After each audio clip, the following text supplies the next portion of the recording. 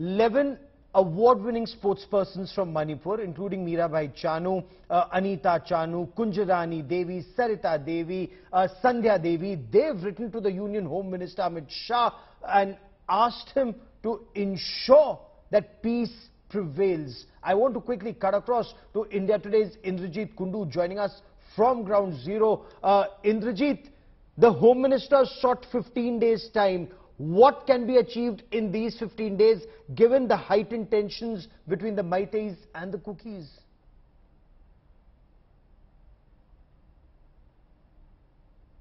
Well, Gaurav, you know, uh, um, trust between these two communities, these two, uh, you know, ethnic communities, very important ethnic communities in Manipur, is at its highest level at this point in time. And therefore, what Amit Shah did was bring all stakeholders on the table over the past 48 hours. His message was loud and clear.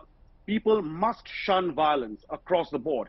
Uh, just a short while back, Chief Minister Biren Singh has also come up with a statement saying, uh, appealing that uh, all civilians who now have, uh, you know, arms and ammunition, in fact, we have been reporting how uh, in the past few days, several armories have been looted.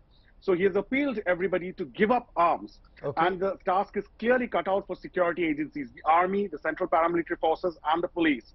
Because unless, of course, there is a peace, one cannot hold these peace talks. But what has uh, made, uh, you know, this entire process very there has to be a deft political maneuvering on part of the central government. You know, the, the community says that they just cannot uh, you know, live uh, in Manipur right now, and we need a That's the separation. question. That's the question I was coming to. You spoke to representatives of the Kuki organizations. They said they want a separate entity, uh, and they do not want to be a part of Manipur. The sports persons have also written to the chief minister and to the union home minister saying the Kuki terrorists are challenging the integrity of Manipur by killing people and burning houses. This kind of language, this kind of terminology and this kind of tension between the two. What's the common middle, middle ground?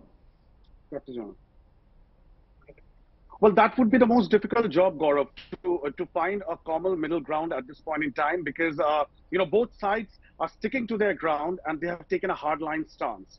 So it will require a lot of political maneuvering. But before that, before the dialogue process can begin, because it seems like going to be a long haul, it requires a political solution.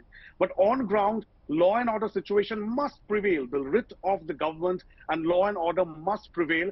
Manipur, my you has gone through curfew for the last one month. There is ban on internet. Essential commodity prices have shot up. Potato is selling for 80 rupees per kilo. Petrol is selling in black from 150 rupees to 300 rupees. And in a sense, we are going back to uh, a, a, decade back in Manipur where yes. we've seen similar scenes where there are road blockades, essential commodities not being allowed into various locations. Uh, and that seems to be the case. So are we heading back to those dark uh, period in Manipur where we have seen long amount of conflict? In that is the fear amongst people. We'll have to wait and watch yes. very uh, carefully as to how things unfold. I'll, I'll come back to you for more. Stay safe uh, for the moment. Many thanks.